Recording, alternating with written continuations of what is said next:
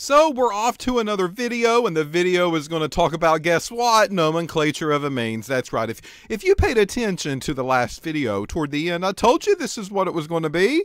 And look, I didn't lie to you, did I?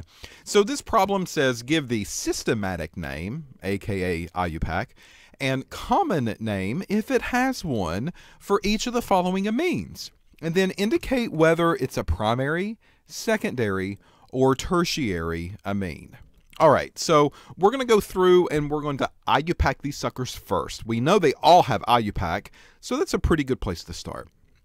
All right, so for A, up here at the top, my longest carbon chain is 1, 2, 3, 4, 5, 6. All right, so I know that this is a hexane. I drop the E, I add on the word amine, and this NH2 group is attached to the first carbon of that chain. So one hexanamine is going to be the name of that structure. See how easy that IUPAC was? All right, so for B, I do the same thing. Now, here the nitrogen's kind of sandwiched in the middle, and I need to take a look at the longest carbon chain in order to do that. All right, so one, two, three, four, five, or one, two, three, four, five. It's five either way on this side, the right hand side, it's one, two, three. So this is definitely by far the longest carbon chain that I have. It's right there. Okay. So with this four or five carbon chain, one, two, three, four, five, this is going to be a pentane. So let me write that out. Drop the E and add on the word amine. So pentanamine. Well, this happens at carbon number one. I'm naming it as an amine, so I try to number closest to that end, and it just so happens that that nitrogen's right there. So there's carbon one, this is carbon two, that's carbon three, this is carbon four, that's carbon five. Now, I need to name what's rest on the nitrogen, okay? So this is going to be a problem for me. I can go back and kind of use the parentheses and call it a propane. And then at one position, I have a methyl, and I can call it a 1 methyl propyl if that's what I want to do. That's fine. But if I'm clever, I can have a very short-handed way to name that structure. That is a four carbon chain and it's on a secondary carbon and there's only one type of secondary carbon on a four carbon chain. It's either this one or that one. And whichever one it's connected to, it's the same structure, folks. There's no difference between them. So this is actually a sec butyl. So I can put in sec butyl pentanamine. That's perfectly fine because I'm letting you know that that sec-butyl group is attached to the N of the nitrogen. And then on carbon number four, I'm going to see a methyl group. So 4-methyl N-sec-butyl pentanamine is going to be the IUPAC for that uh, compound. Now, if you mess up the 4-methyl and the N-sec-butyl, and you flip these around and you put them in an opposite order, it's no big deal, folks. I still give you credit. All the major pieces and parts are there. You just didn't put them in the order that's preferred, and that's not a problem for me at all. So, whatever, I don't care. All right. So, if you look at C, we have to IUPAC this as well. Uh, the longest carbon chain, this is kind of funny though. Look at this CH3CH22 and then it's on a nitrogen with a CH3 group. Okay, so what does that really mean? Well, that means there's two of those groups. Okay, so if you wanted to rewrite this different way and put CH2, CH3 up here and get rid of that extra one, that's what that means. It means that this nitrogen has two ethyl groups. And they just wrote it together to make it more condensed.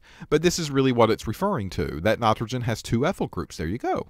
And then a methyl group as well. All right, so the longest carbon chain, it, I can circle the one to the left or the one on top, it doesn't matter. So it's a two carbon chain.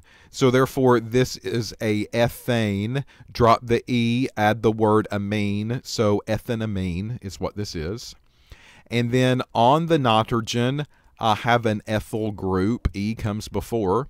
And then on the nitrogen, I also have a methyl group. So E comes before M. So N ethyl, N methyl, ethanamine. That is the IUPAC name for that structure. All right, for D, I do the same thing. Longest carbon chain here looks like to me one, two, three, four. So here's a four carbon chain. There you go. So this is going to be called a butane. Drop the E, add the word amine, butanamine. And then here to the left on the nitrogen, I have a propyl group. So this is N propyl butanamine. For E, I keep going, I keep trucking, I'm on a roll, right?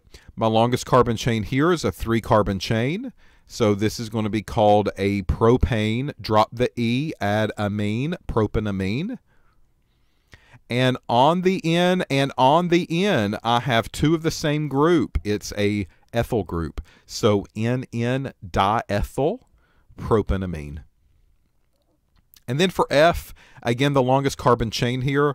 The longest carbon chain is this five-membered ring that's right there that's directly connected to the uh, connected to the nitrogen. On this side, there's just two carbons, and that's it. So the ring is my longest continuous carbon chain. So this is a cyclopentane. Drop the E, add the word amine, cyclopentanamine or pentamine. All right, so on this nitrogen, I also have an ethyl group. So I need to put N ethyl there, right? N ethyl cyclopentanamine. Okay, so this nitrogen is going to be on carbon number one of the longest chain. I've now taken care of this ethyl group in ethyl in front. So carbon number two is here and carbon number three is there. So on carbon three, I have a methyl group. So 3 methyl N-ethyl cyclopentanamine or pentanamine. It's up to you on how you want to say it. All right, so there we go. Now, I've not really fully answered the question. I've only answered part of the question. I know you're saying, "Oh my God, what, what else is there?" Uh, the next part is uh, indicate whether it's primary, secondary, tertiary. All right, so it doesn't really matter how I name it. It's going to be the same type of system no matter what. So if I look at this nitrogen, it's only attached to one other carbon. This is a primary amine. If I look at B, this nitrogen has a carbon to the left and a carbon to the right. So therefore, this is a secondary amine. If I look at C, this nitrogen has one to the left and one up above and one to the right because remember there was a 2 there. That's what that means. So there's three groups attached to that one. For D, there's one to the left and one to the right. So there's two groups attached to that one, secondary. For E, I've got one below and one to the left and one to the right. So this is a tertiary amine. And then for F, this nitrogen, I've got one to the left and one to the right. So this is a secondary amine. So that takes care of that. That was pretty quick and easy and painless. And now finally, we need to go through and we need to take a look at common names. But this one was the tricky one because it says if it has one. If it has one, then they want us to write down the common name. So if these are typically simple groups, and if these simple groups can be named um, without a problem, then it probably does have a common name. And for A, of course, that's going to have a common name. So the way that we common name them, just to go back and dig out that information, this is one, two, three, four, five, six, right? So we are going to name this as a hexyl, not a hexane. That's the difference, right? So we're going to name this as a hexyl, and then we add the word amine on the end, just like usual. So hexylamine is the common name for that structure. All right, if we look at number two, uh, this number two has a nitrogen right here. And to the left of this is a group. Can we common name that? And the answer is yes, we can. This common name is an iso unit. I see that L structure that's there at the end. And one, two, three, four, five, six in total. So this is a ISO isohexyl. And then over on this side, we see also an L shape, but it doesn't really happen toward the end, right? This is next to that one. So this is a four carbon chain. We already called it a sec butyl group. It's going to be called the sec butyl group yet again. All right, so what that basically means is that I need to write those two together in alphabetical order. And to the left, I have the isohexyl, and then to the right, I have the sec-butyl. Notice that the sec does not take place in alphabetizing. If you get it backward, I'm not going to count it wrong, but to be prim and proper, B comes first. So this is a sec butyl isohexyl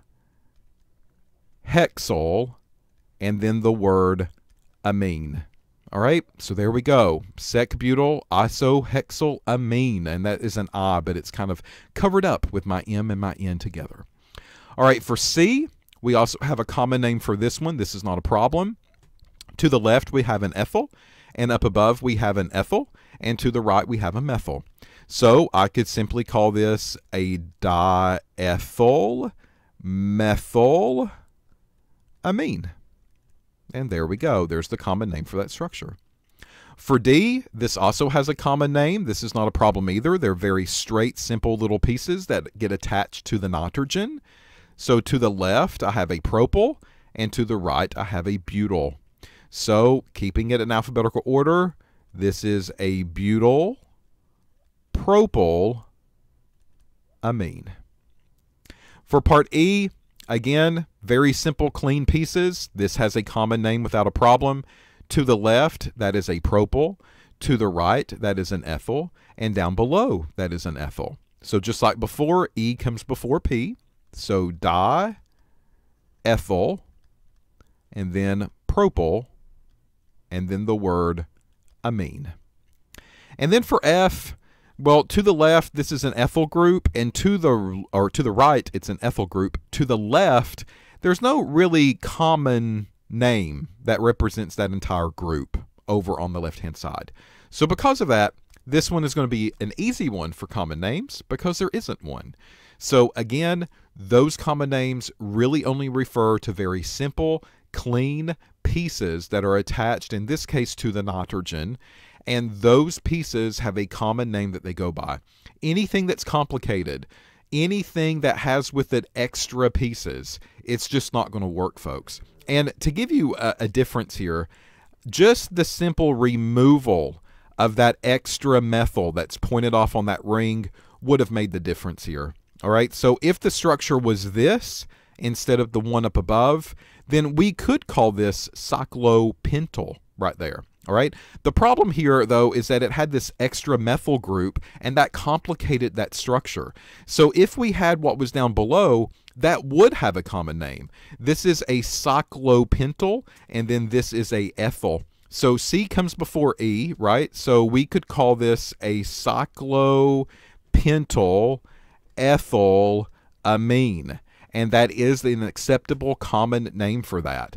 But the problem is that this cyclopentyl was not just a cyclopentyl. It also had this piece that was hanging off, and now I need to come up with a name that represents that entire thing, and I can't do that. So that's where we have to rely on IUPAC in order to do it. If that substituent or that hangout was not there off to the left-hand side, then we would have been perfectly fine, and we would have had a common name for this. But that wasn't the structure that they gave us.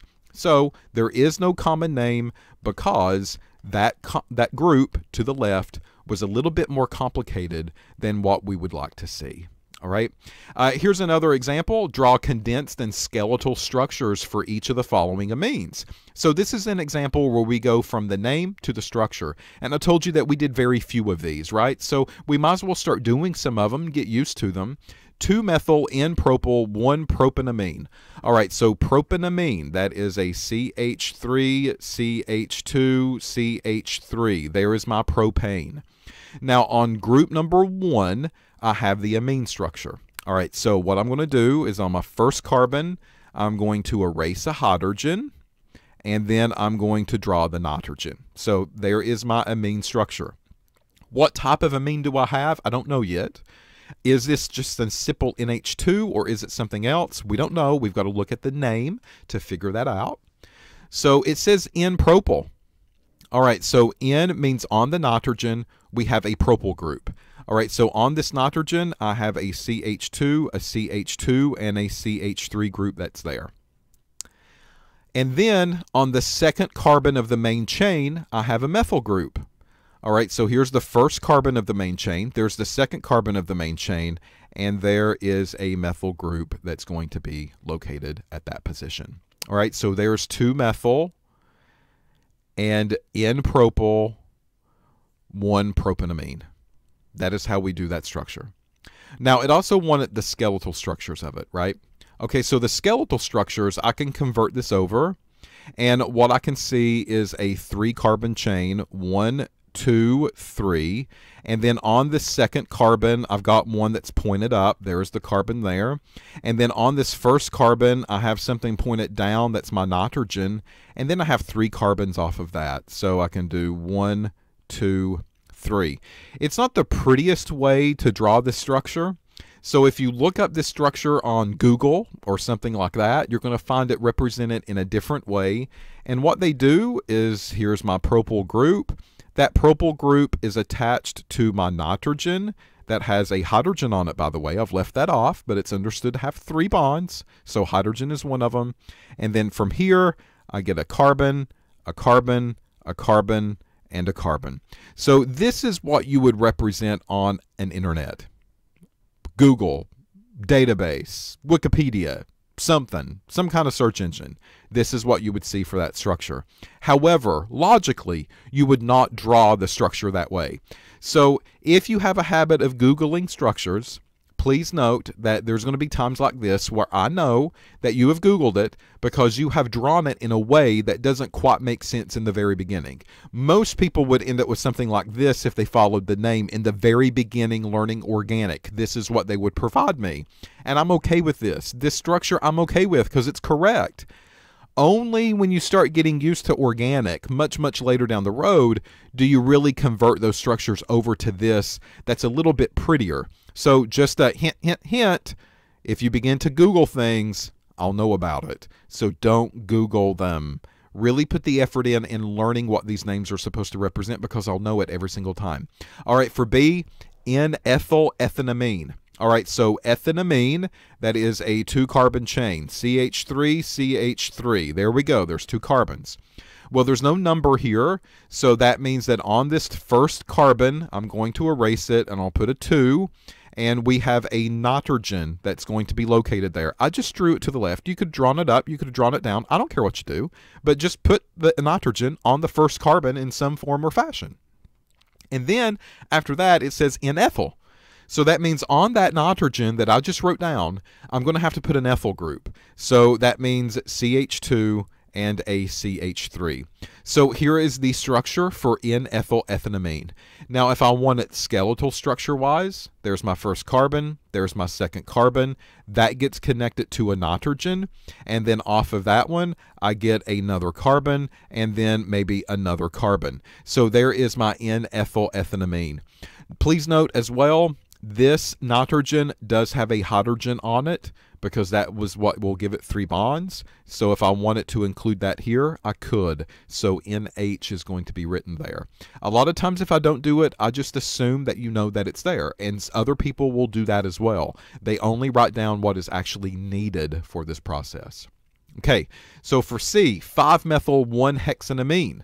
All right, so hexanamine is six carbons. One, two, three, four, five, six. Look at what I did here. I left off those hydrogens. I just wrote the carbons, right? Make it simpler.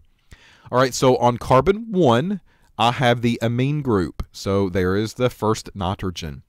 And then on carbon 5, I have a methyl group. All right, so carbon 1, carbon 2, carbon 3, carbon 4, carbon 5. Carbon 5, I have a methyl group that's right here. Okay, so there is the structure for that name, 5-methyl 1-hexanamine. This nitrogen, though, if I really wanted to be proper, this only has one bond. So it really does need two more hydrogens in order for that to work. So NH2 is there. This carbon, two bonds, so it needs two hydrogens. This carbon, two bonds, it needs two hydrogens. This one, two bonds, it needs two hydrogen. That one, two bonds, it needs two hydrogen. This one, it has three bonds, so this needs one hydrogen. One up on top has one bond, so it needs three. And the one to the right, it has one bond, so it needs three. So if you wanted to be a complete structure, there you go. And then if you wanted it to be a skeletal structure, we still write NH2, and then off of this NH2, I have one carbon. There's my second carbon. There's my third carbon. There's my fourth carbon. There's my fifth carbon. There's my sixth carbon. And because this is kind of pointed and kinked down, I'm just going to draw that extra methyl group down below. You could have done it up. I wouldn't have cared. I mean, it's the same thing. You still have the same group in the same position, but to make it pretty on a sheet of paper, I point it down, and that's what you'll often see in the textbooks and stuff as well. All right, so for E, we've got NN dimethyl 3 pentanamine. All right, so pentan, one, two, three, four, five. And then on carbon 3, which is right here, I have the amine group. So this is where my nitrogen is going to be. Well, NN basically means there's two groups on that nitrogen. What are they? Well, each one of them is a methyl group. So I have a methyl here and I have a methyl there. If I wanted to go through and write in all of the hydrogens, I could. This one needs three of them. This one needs two of them. This one needs one. This one needs two. This one needs three. This one needs three. And this one needs three. If I wanted to draw the skeletal structure of this, I'll start off with my nitrogen here. And then I have a methyl group to the left. I have a methyl group to the right. Up here, it's connected to a carbon. And then to the left and right of that carbon are two more, right? So one, two, and then one, two. And there's the hieroglyphic for NN dimethyl 3 pentanamine. All right, so finally the last one.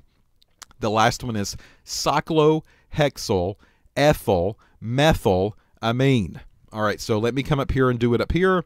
So cyclohexyl ethyl methyl amine that is a common name. That's not an IUPAC name. And the reason I know that is because I see else, right?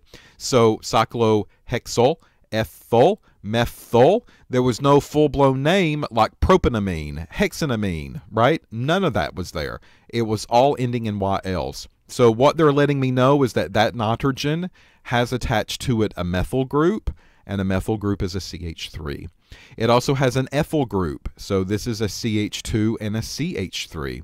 And it also has a cyclohexyl group. So on the other side of this, I need a cyclo with a six carbon ring, and there we go. One, two, three, four, five, and six.